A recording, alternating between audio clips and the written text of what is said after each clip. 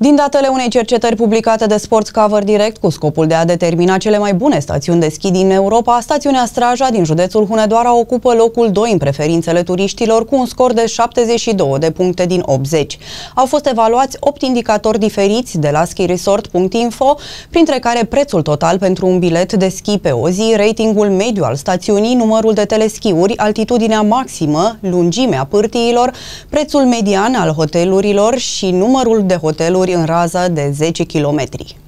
Cu un scor de